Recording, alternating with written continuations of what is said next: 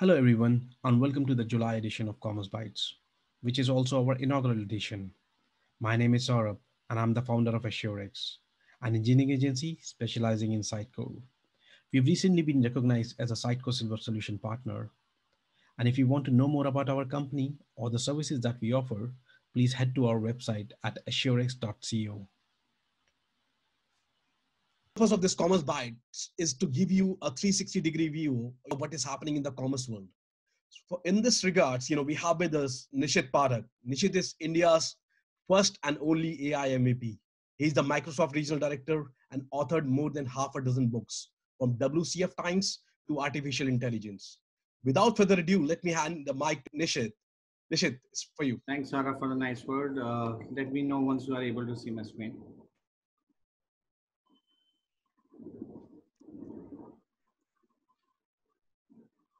Are you able to see my screen? Yes, we can. Uh, you need to switch on the presentation mode, I believe. Perfect, perfect, perfect. Okay, so my my name is Nishith Pathak. I am uh, I am I'm uh, the only AI MVP of Microsoft in India, and I'm also a regional director Microsoft as well. So out here, I'm going to talk about AIoT in e-commerce and I know most of the folks out here has been coming from the Sitecore background and they want to understand what are the industry trends in terms of commerce. So I'll try to make sure that uh, I don't, uh, you know, bombard uh, the audience with a lot of technology jargons, but I want to make sure that there are key, key takeaways and you need to understand what where the industry is evolving.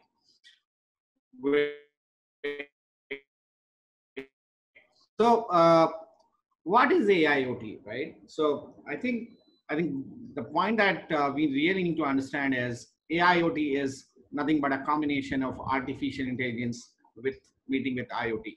And when you are talking about artificial intelligence and IoT, these two technologies have been working in the industry since couple of years. AI is everywhere, right? You know, wherever, whether you are using a Google search or you are using, uh, buying a product uh, uh, from an Amazon or any of the retail websites, or even you are talking with stuff like Alexa and other stuff at home, or you are talking about smart homes, everywhere there, there's AI, right? So AI is probably is one of the biggest revolution of industry in terms of technology that has come and it has really transformed the life and everybody of us is actually using ai in one way or another and that is where the AI comes out. So propositions of AI is really multifold. Now, at one end, there's artificial intelligence. The other end is IoT. Now, IoT stands for Internet of Things, right? And, and a very raw term, if you understand IoT, it is a combination of uh, connecting sensors and actuators of devices with the network.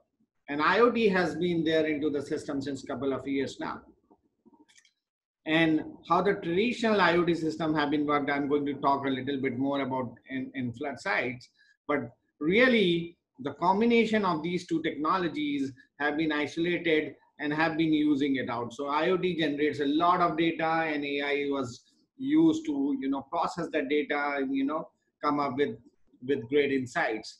But AI, AIoT in itself is being a buzzword and is bringing and radical change in various industries. And we are going to see, see it how. So let's move it further and let's understand, you know, what does it take in order to, you know, what does it happen in terms of 2020 in just one minute? So if you look on the slide, you will see in just one minute, there are around, there are around 4.7 million videos that are viewed in YouTube. There are more than 4 million apps that are downloaded from either a Play Store or you know Google Play or App Store. There are 4.1 million searches, search query that happens. There are around 7,064, 764,000 hours on Netflix that are watched. And you know, you talk about, and this is just a social data, right? There are 1.2 million views on Twitch, and you know, talking about tweeting, you know, 194,000 or more than that people are actually tweeting every single minute. So what does it say? It actually says out there's a petabyte of data that is getting generated. Even data is actually actually getting generated from everywhere that you can imagine. And 95% of this data that is getting generated is unstructured in nature. Now, if we have some data, can we utilize this data to bring some insights? And when we are talking about this, the other things that is also being being there along with this whole data getting generated, and that was a social stuff. Now, if you really talk about the IoT as an era or a landscape, think about the number of you know sensors and devices and networks and APIs that are getting generated over a period of time. Now, by 2021, there are around 212 billion sensors that are expected to be in the industry. And if you are, if I talk about two, 212, the whole world population is just 7 billion. So you can understand the number of times of the sensors that are going to be connected. The number of devices that are going to be expected by 2021 are around 50 billion. There are 2.5 billion of people that are accessing either a 4G, LTE, or even now 5G that are expected to be using by 2021 when we are talking about Fortune, you know, Fortune 500 companies, you will really see it out is that around 90% of those Fortune 100 companies are actually offering the public APIs that we can see it out. It, be it billing, be it social, be it search, be it marketing, every related to the you know you know uh, commerce stuff. We are talking about applications, million applications that are being being used across the world. And you know just about data that is getting generated about mobile it is you know 50 times 500 times petabyte of data that is actually generated. Humongous amount of devices are getting generated and each of these devices actually generate a great amount of data and when we are talking about IoT, we are actually talking about connecting these data and thinking, you know, just to make your stuff a little bit more easier, you know, think it up of, you know, some of the devices like, you know, at your home, right? For example, refrigerators, uh, you know, televisions, or, you know, the cameras that you have. All of these are actually having, and in case if we can connect it out to a network of internet, this is just IoT. And it actually happens that these all sensors and actuators are actually helping out to create a generated amount of data. Now what happened next? So we have social data at one side, we have artificial intelligence on the other side, and the third thing is that we have IoT devices which are more than the population of the world, which are getting connected in it. So can we utilize it? So and and my, the flow that I'm trying to say is I think everybody knows a high level of what exactly artificial intelligence is all about. What I'm trying to take out is, you know, we need to understand a little bit more about IoT and then we go out a little bit more further. Now, if you really see out any of the IoT flow, the way IoT solution works out pretty, you know, in where it actually has divided into three. One is things, second is the insights, and third is actions. So things is where you know you actually generate data. So thing can be any of your sensors, right? You know that television or your refrigerators and all, and they generate the insights. Now what happened is these insights normally go out to the cloud, from where it actually processed, and then you take an action. So it is it is just this is a typical process of how the IoT solution happens, right? Now this works out so far so good, but one of the demerit which I presently and I can bring it out to you in front right now, you know, this architecture is more resembling about, you know, a reactive approach. So you have a data which gets generated, goes to a cloud, it do the processing, find out some anomalies, maybe a fraud detection, and then take an action. So there are system and transaction, especially in the e-commerce area, when you need an instant response, a reactive or a reactive, predictive uh, response rather than a reactive one. And that is where this whole IoT solution and IoT solution really lacks. Now, before I really go out and I want to go a little bit more technical about it, this is how the core system of an IoT architecture looks like. So you have an IoT devices and you can have millions and millions of IoT devices on the left side, which is things on the left. And then there's a cloud gateway, which is uh, interaction through which how you interact with those IoT gateways devices. It can be used to provision and sending the data to and from. It can also be used to filter the data as well.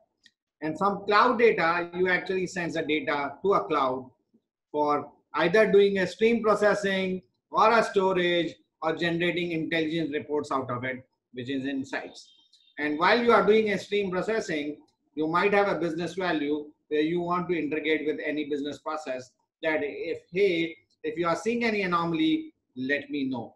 If you are seeing a fraud detection, let me know. So let the data comes out. And in case if you are seeing some sort of anomaly detection, fraud detections, or in case if I want to do some sort of insight for a customer who is visiting it, you know, let me know and I can take some sort of business decision.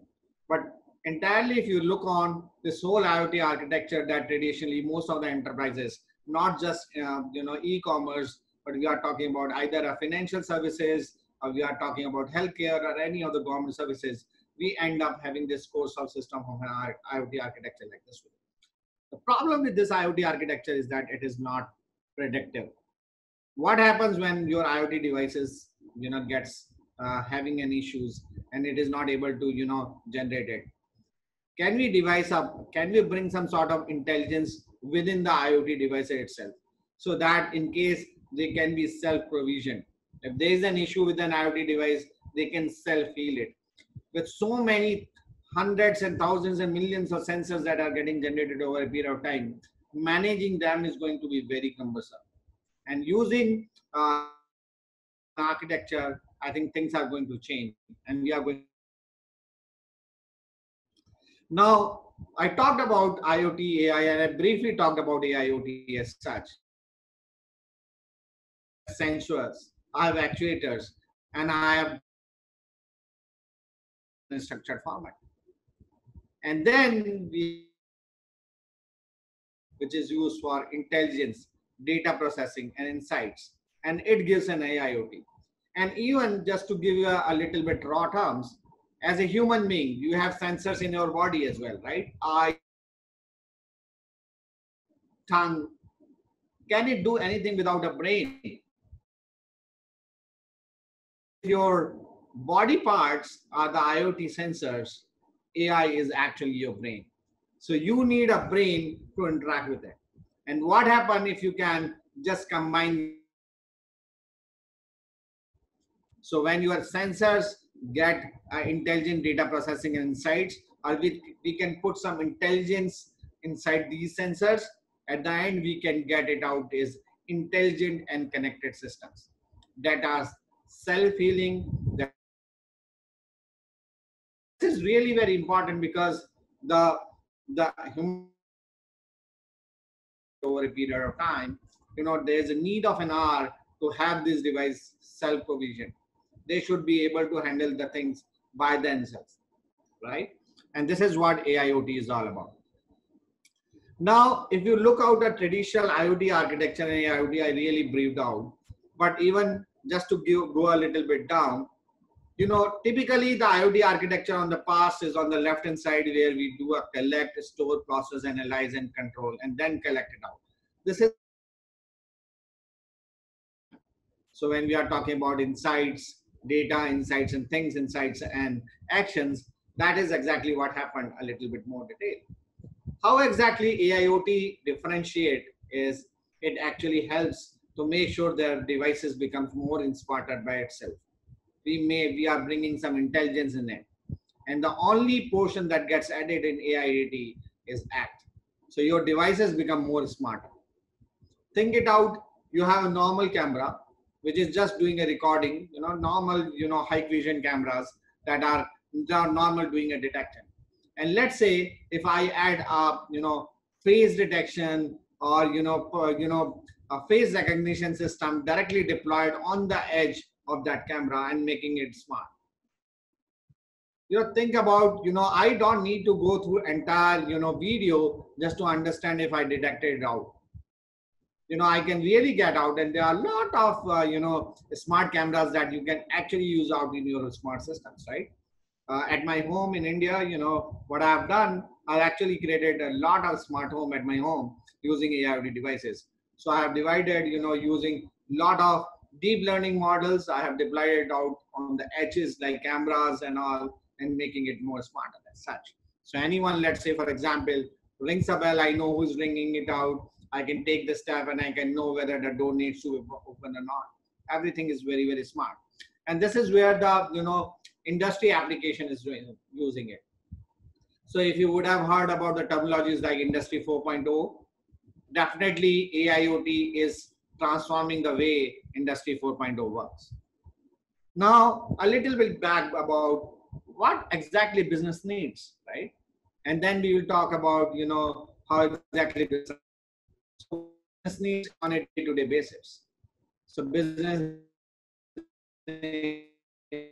insights, definitely yes, so that they can take some informed decisions. They all need increase that can exactly is what business needs business also needs an improvement in the decision management process. So can you tell me some, by looking on a pre-structured data, can you help me taking some pre-decisions for the post? I think that is what. Can we have a predictive and real-time actions? So rather than waiting for my data to go to the cloud and take an instance, there are times when we need an immediate actions. For example, like let's say uh, retail stores, right? So let's say if I, my camera is smart enough to know that there are millennials who are actually getting entry into the shop, I can actually have my ads into a millennial category. So depending on looking or understanding the sentiments, I can actually push out uh, uh, the customer care to help the people. Right? Can we have the personalized recommendation? Nowadays, gone are those, those days where you know the the recommendations are given. everyone, every each one of us actually need a personalized recommendation. Whether we are watching a movie in a Netflix or whether we are buying some application in retail stores or whether we are doing some sort of transactions. We need personalized actions. Think in terms of the physical stores that we have. Can we take some sort of sentiment analysis on terms of physical stores, right? And I understand that footsteps on the physical stores have been regulated, but AIoT, the usage of IIoT in physical stores have changed it massively. You know, things like Amazon Go, right? You know, you go into the, you know, technology has been into the system. Like you go into uh, a shop, pick up the products and you go out, you know, you know, without any stuff. You don't need to pay. You don't need to have any customer care. You just pick out the devices and the bill will get processed into your system. You know, and these all are possible because of the use of having devices as well. Prediction accuracy. This is again very, very important in terms of predictions. So when I am predicting it out that, hey, these are the number of sales, in order to increase the sales to X amount of percentage, I need to do this sort of investments and all. And in case if I can take good prediction accuracy, there will be or informed decisions, definitely business will have. And at the, at the end of the day, it is all about customer delight. And you know, there's a very famous saying in terms of uh, sales that if you want to think about customer to think about you first, you need to think about customer first. And that is the phenomena of most of the successful business enterprises that you would say. They are all customer centric. Customers are the ecosystem. And if you talk about AIoT, all we are trying to do at the end of the day in terms of e-commerce stuff or any of the industry is that we are generating the data which is related to a customer in a very unsung way. And this is called a ubiquitous computing that we move forward with. Now, next I have is how, you know, and I think this is this is really an important slide where we are talking about how business are using AIoT, right? And there are multiple ways the business are using. And in the previous slide, I talked about what business needs in order to solve these problems is what exactly is business actually are using AIoT. So we are, we are using AIoT to do our two automation, may be it doing an automation of any of the manual tasks in the factories and stuff or in commerce world. Uh, you know, out in terms of uh, you know uh, shopping carts where we have a cloud managed POS to manage the point of sale. Process optimizations the use insight for tangible value outcomes. And this is important in case if we can be more proactive rather than being reactive. And this is very, very important in terms of getting insights because customers need the data right way here. Can we have a better customer management? Can we have a time to bad market insights as well? Because it is important because speed to market is really very, very important for any of the business to be successful. And, a, and when a person is doing a transactions, let's say in any e-commerce transactional website, if a customer reaches out to your site, he's not going to spend a lot of time if he is not getting a value out of it. And at two second is that normally a customer do a search, wait for 15 seconds to get the right data or move it out to a next site and do a Googling or figure it out the next you know site that can help. So with so much important it is make sure that the real returns of the site optimization is very important. Better tracking in logistics, right? One of the projects that we have worked out is creating a smart sensors, right?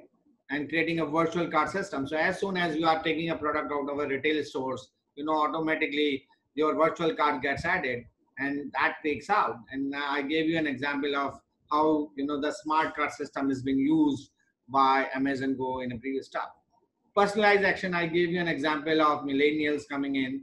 And of course in a you know normal stuff if you are doing you know some transactions online definitely a personalized action is given. We have also seen it out that using aiot one of the other aspects that are coming out is delivery robots right? So robots are doing delivery as such and you can really see it out such things such investments are going to happen. You might be having a customer care which is basically taking care of the whole stuff you might be having a process optimization that which is giving which is giving them uh, great returns. You might also end up having couple of process stuff and couple of devices which are really changing the whole world as such.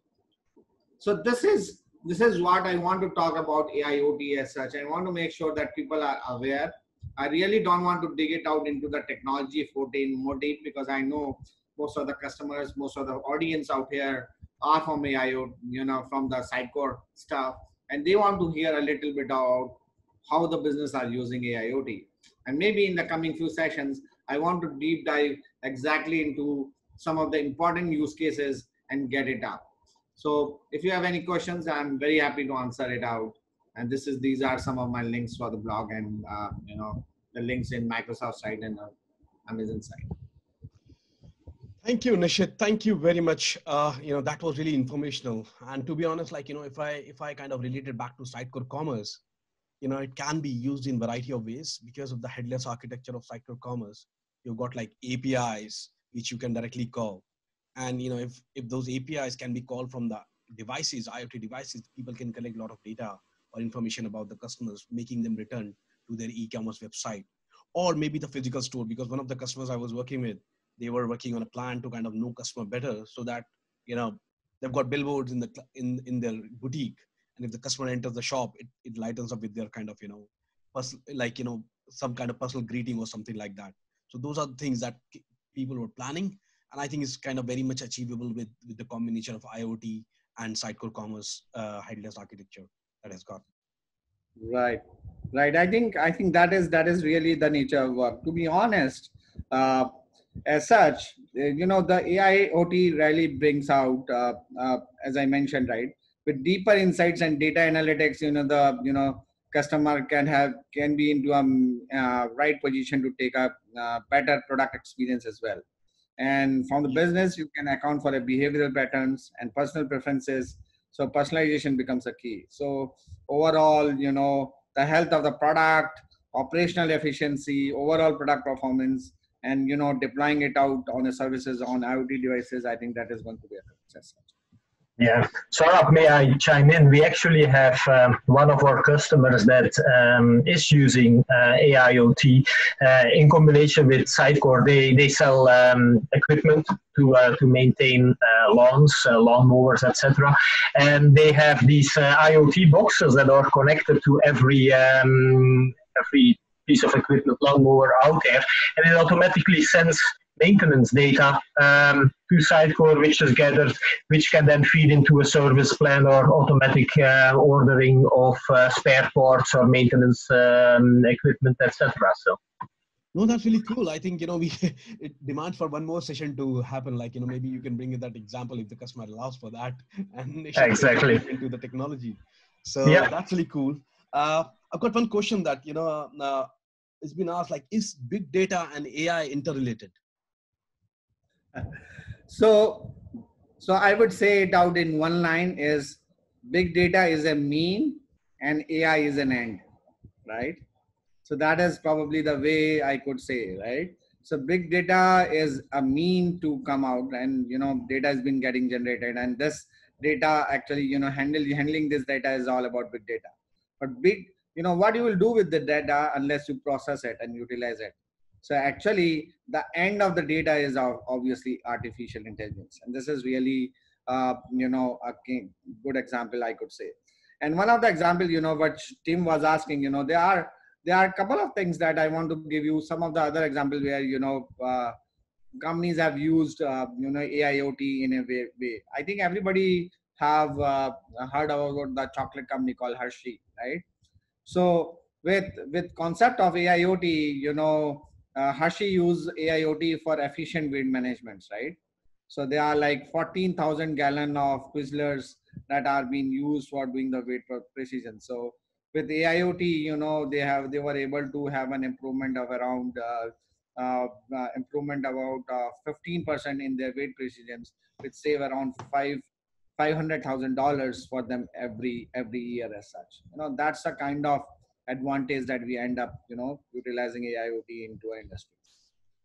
That's really cool. That's really cool. And thank you again very much for your time and thoughtful session. I personally enjoyed it. Thank you for watching. I hope you've enjoyed the video. Please don't forget to like, share, and most importantly, subscribe to this channel so that you get notified about our latest videos. If you want to know more about our services, please head to our website at assurex.co. Thank you very much once again Take care and stay safe.